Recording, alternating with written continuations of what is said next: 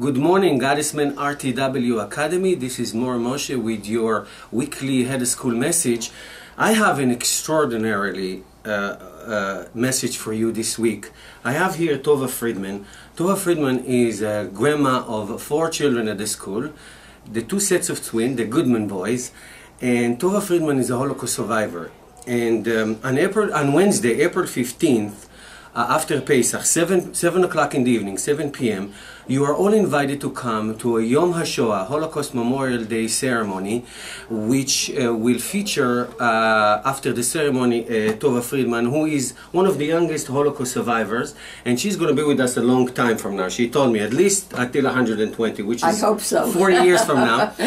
And Tova, you spoke many times at the school, Yes, and I your did. grandchildren are here. Yes. And you're going to share your amazing story of, uh, of triumph.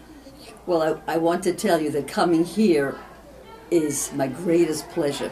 Not only do I see the fabulous work that you're doing, I just, I, it, it, my heart bursts with joy when I see it, but I also see the continuity of my grandchildren, which weren't supposed to be here, and they are.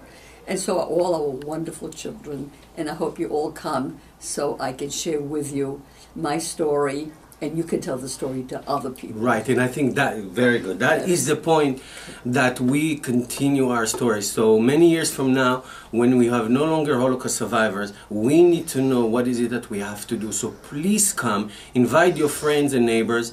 Kids age 10 year olds and up can come. I heard Tova's story many times. It is appropriate, it is important. So please come and join us and continue this legacy of Midor Ledor from generation to generation.